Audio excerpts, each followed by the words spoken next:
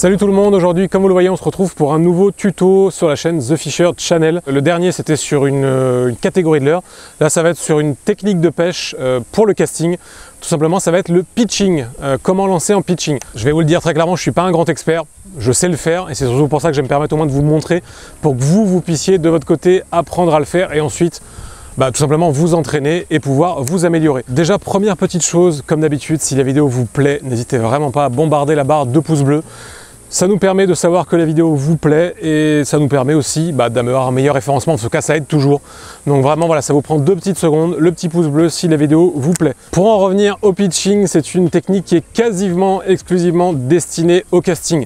Il n'y a pas besoin d'avoir un matériel particulier. Ce qui est quand même recommandé, c'est d'avoir comme toujours un bon moulinet. Ça malheureusement, enfin, c'est le, défaut et l'avantage du casting. Si vous avez un moulinet d'entrée de gamme à 50 euros, ça fera toujours plus de perruques, ce sera toujours moins agréable. Donc mettez toujours un peu le prix euh, dans vos moulinets, c'est quelque chose qui va vous durer et surtout vous allez beaucoup moins rager quand vous allez apprendre. Euh, revenons-en encore une fois au pitching. Le pitching, ça sert à quoi? Euh, Ça sert tout simplement à pêcher les bordures, les endroits combrés et surtout pêcher avec précision. Je pense que vous l'avez remarqué quand vous pêchez, normalement vous faites un coup droit ou un revers, même en casting, c'est compliqué d'être extrêmement précis. Le pitching va vous permettre de jeter à un endroit très précis et surtout de faire un posé délicat de votre leurre. C'est-à-dire qu'en gros, vous allez vraiment faire aviver votre leurre le plus doucement possible au-dessus de la surface. Ça va servir pour le bass, mais tout simplement pour tous les poissons qui sont embusqués sur une bordure. Euh, imaginons que vous avez une bordure encombrée, si vous lancez un leurre qui se pose comme un fou euh, sur la surface de l'eau, ça fait un gros plouf, la plupart des poissons vont se barrer, surtout s'ils sont un peu méfiants, alors que là en pitching, vous allez pouvoir le poser tout doucement, le laisser couler dans les branches, mettre 2-3 animations et pendre votre brochet ou votre black bass. Donc ça se destine vraiment à ça. Le début est pas évident, mais si vous pêchez déjà un peu en casting, franchement, au bout de une heure de pitching, euh, vous allez être rodé. Ça peut se faire du bord, mais honnêtement, je trouve que le mieux c'est en bateau. Quand vous êtes en hauteur, en fait, quand vous êtes un peu surélevé, le long d'un fleuve ou le long d'un étang ou d'un lac, euh, c'est vraiment super marrant à faire. Euh, surtout que vous allez pouvoir vous décrocher si jamais vous vous loupez. Mais même du bord, vous allez pouvoir le faire. Au niveau de l'anime, vous allez voir, je vais vous montrer. C'est pas très très compliqué. Là, en gros, mon but, ça va être de lancer là contre la bordure. Donc, ce qu'il va falloir faire, c'est débrayer votre pick-up. Donc, sur un casting, vous appuyez et tenir votre fil. Vous le tenez avec le pouce en fait. De, l'autre main, donc de la main gauche, vous allez prendre votre leurre dans la main et éviter de prendre l'air avec beaucoup de triples quand vous commencez. Là par exemple, j'ai un shatter avec juste un hameçon simple. Ça évitera que vous finissiez avec un triple dans la main. Vous prenez votre leurre dans la main, vous débrayez le pick-up de l'autre côté, vous faites un geste, un grand geste ample comme ça, et quand vous allez arriver vers le haut, va falloir lâcher votre pick-up pour relâcher le fil.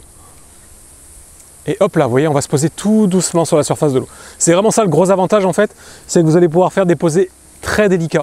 Et du coup, si par exemple vous êtes sur des poissons méfiants, exemple des basses, euh, bah, le basse, si jamais vous lui posez un truc qui fait un gros plouf au-dessus de la tronche, il est méfiant, généralement il va se barrer. En fait, il faut bien freiner quand vous arrivez à la surface de l'eau. Pour ça qu'il faut vraiment bien accompagner. Faire un bon accompagnement. Et hop, on se pose tout doucement. Donc en gros, il faut vraiment vous entraîner à faire ce geste et à, surtout à lâcher en fait votre fil au bon moment. Je vais vous montrer devant moi pour que vous puissiez voir le, geste avec l'appareil photo. Donc là, je ne vais pas viser un endroit précis, je vais juste vous montrer le geste. Donc toujours pareil, on prend son leurre dans la main gauche, on le tient, on débraye euh, le pick-up, on tient son fil et ensuite on fait un grand geste. Là vous voyez j'ai lâché un peu haut, du coup mon posé n'était pas délicat. Donc en gros si vous voulez que votre posé soit délicat, il faut que le leurre, euh, quand il parte, il soit proche de la surface de l'eau. Parce que plus il est haut, même si vous freinez, il va forcément faire un petit plouf. Bah, chez vous, vous pouvez même vous entraîner l'avantage, vous n'êtes pas obligé d'avoir de l'eau. Hein. Si vous avez juste un jardin, vous vous mettez dans le jardin, et pour vous entraîner, ce qui est cool, vous mettez, je sais pas, un petit cerceau, un plot, et vous vous donnez comme objectif de jeter par exemple dans le petit cerceau. Et l'avantage, bah, c'est que vous allez pouvoir vous entraîner comme ça euh, pendant 10 euh, minutes si vous voulez, et vous allez voir, ça vient vraiment très vite. Hein. C'est pas une, une fois que vous avez compris le geste, c'est vraiment pas compliqué. Donc voilà, le pitching, une technique qui va vous permettre de pêcher précisément les bordures, les bois encombrés, de pêcher en fait des endroits euh, que vous ne pourriez pas cibler avec une canne spinning classique en lancer coup droit ou en revers où ça serait plus compliqué. Là, vous allez vraiment pouvoir prendre votre temps, prendre votre leurre dans la main, accompagner et jeter précisément, doucement, à l'endroit que vous voulez, euh, le leurre que vous avez au bout de la canne.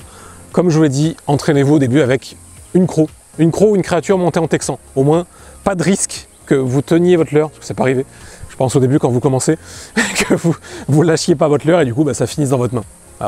Pour éviter ça, mettez un texan s'il vous plaît. Et je pense que vous devriez vous en sortir.